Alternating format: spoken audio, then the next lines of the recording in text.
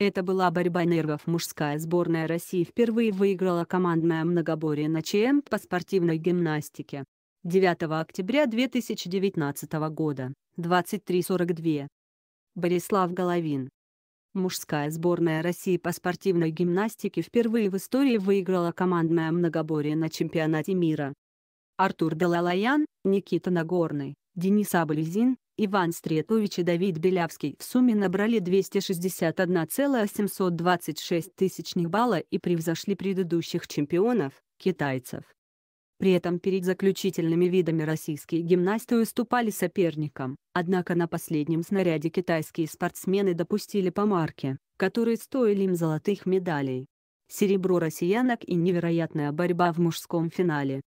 Первые медали на чемпионате мира по спортивной гимнастике традиционно были разыграны в многоборье. Накануне весьма успешно выступили россиянки.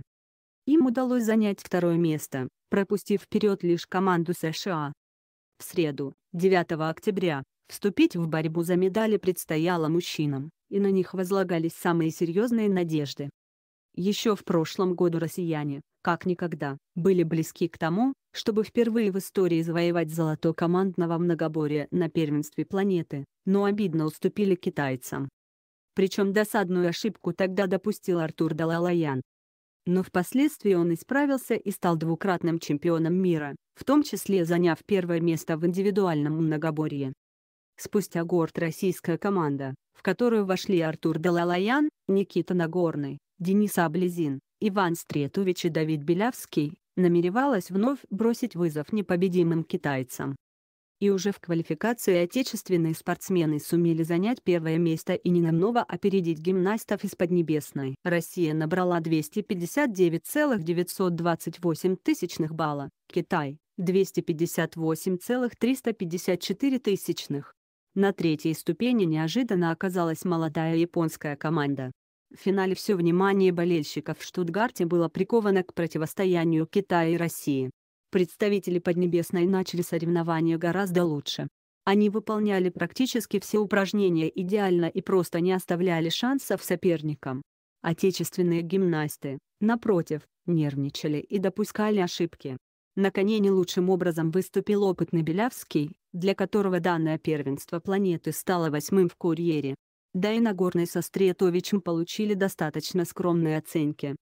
На кольцах с помаркой отработал еще один опытнейший гимнаст Аблизин, пятикратный призер Олимпийских игр. Таким образом, перед брусьями россияне уступали китайцам уже около полутора баллов, и это, мягко говоря, было неплохим подспорьем для соперников, при том, что данный вид является для представителей Поднебесной эталонным. Вдобавок тут же допустил ошибку один из лидеров команды, Далалаян. В тяжелый момент россияне могли сломаться и смириться с поражением, но сумели собраться. Китайцы же дрогнули, поняв, что главный преследователь рук не опустил, и начали совершать промахи. В результате все решилось в последнем виде – перекладине. Россияне выступили великолепно, избежав ошибок, несмотря на колоссальное напряжение. А вот азиаты буквально на глазах теряли имеющиеся у них преимущества. Последним к перекладине подошел Нагорный. Зал от напряжения замолчал. В наступившей тишине Никита идеально выполнил комбинацию. После объявления оценок стало понятно, наши гимнасты наконец сделали то, что не удавалось еще никому в истории российской спортивной гимнастики. Выиграли чемпионат мира в командном многоборье. Россия в итоге набрала 261,726 тысячных балла по сумме всех упражнений, а Китай – 260,729 тысячных очка. Третьими стали японцы – 258,159 тысячных. Что же касается отечественной спортивной гимнастики, то в последний раз победу в данном виде на ЧМ одерживала еще советская команда в 1991 году. Я наконец дожил до этого момента. Визит Путина, два золота в гимнастике и россыпь наград на велотреке, итоги десятого дня Европейских игр в Минске завершились вторые Европейские игры. В последний соревновательный день россиянам удалось завоевать 16 наград. В спортивной, я не смотрел оценки китайцев. Болел за наших, даже голос сорвал, но китайцев не видел, Поскольку нужно было настраиваться, я выступал последним, и от меня все зависело. А вчера перед сном, наверное, раз 400 выполнил комбинацию у себя в голове, не мог заснуть до двух часов ночи, ведь знал, что буду идти последним. Это не передать словами, просто надо было выходить и делать, цитирует спортсмена ТАСС. В свою очередь, Далалаян признался, что ждал этого момента весь последний год. Теперь в активе Артура значится сразу три золотых медали первенств планеты, а ведь нынешний чемпионат мира только начался.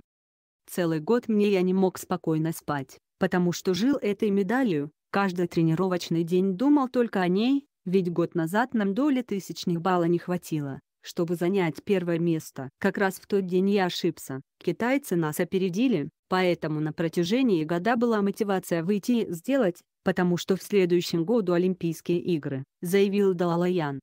Особенно важным это золото стало для ветеранов российской сборной Аблизина и Белявского, которые уже выиграли немало, но в Штутгарте сумели вписать свои имена в историю. Мне кажется, у нас у всех очень разные эмоции, потому что для меня, допустим, это восьмой чемпионат мира. Я очень долго к этому шел и наконец-то дожил до исторического момента, мы радуемся всей командой. Это самая престижная награда, мы начали ликовать еще до объявления результатов, так как знали, сколько нужно получить Никите, и видели, как чисто он все сделал, подчеркнул Белявский.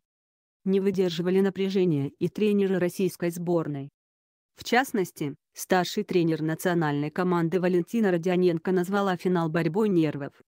Умирала уже перед перекладиной.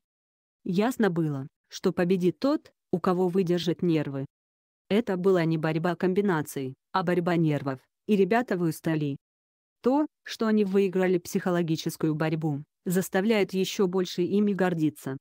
Мы знаем, что китайцы начинают ошибаться, когда к ним плотно подходишь, и здесь было важно выстоять. Но мы были уверены, что мальчишки выстоят. Посмотрите, какие у нас ребята, радовалась Родионенко.